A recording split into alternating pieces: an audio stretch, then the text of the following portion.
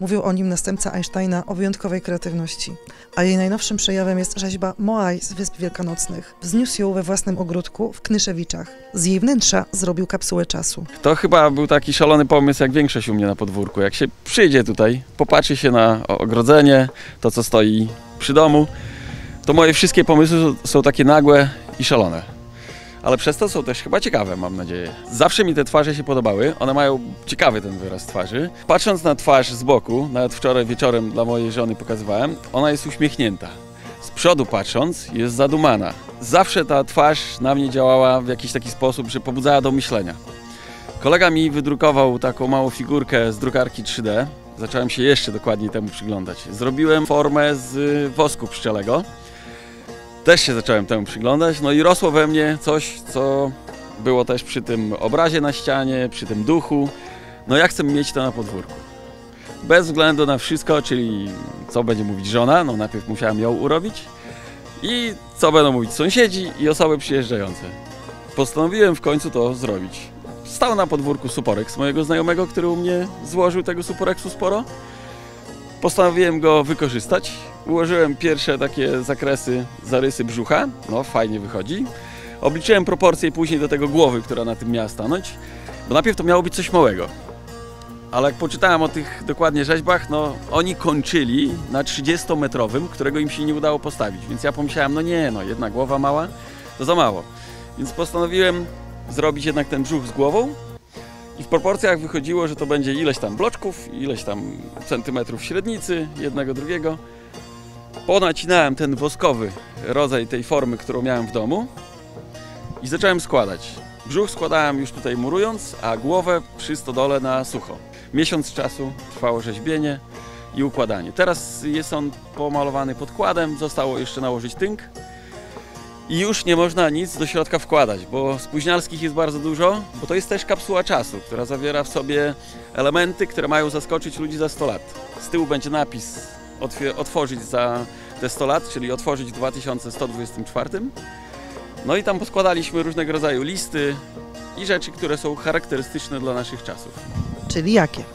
Na przykład na dole jest zboże, to chciała złożyć koniecznie moja żona i pani taka tutaj, która się bardzo dobrze zna na ziołach i mieszka w Knyszewiczach.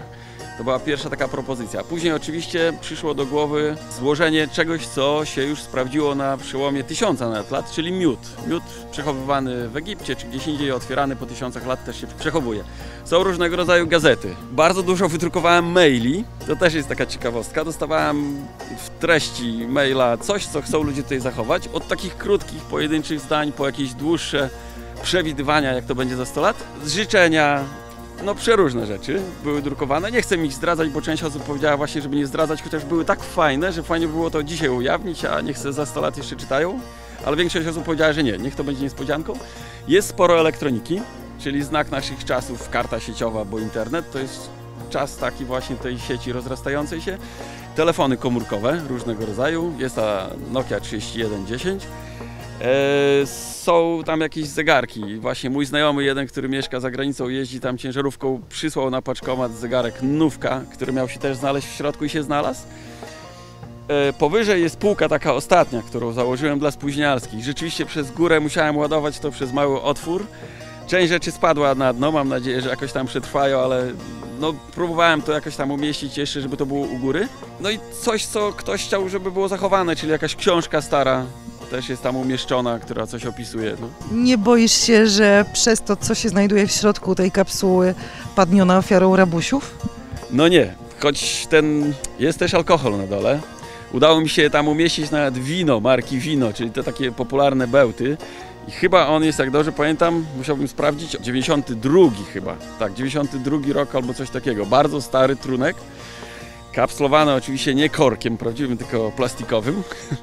No może ktoś się na to pokusić. Mam nadzieję, że nie. No dobrze, a co jeszcze powstanie na Twoim podwórku? Bo to już jest kolejna rzecz, która ściąga tutaj turystów.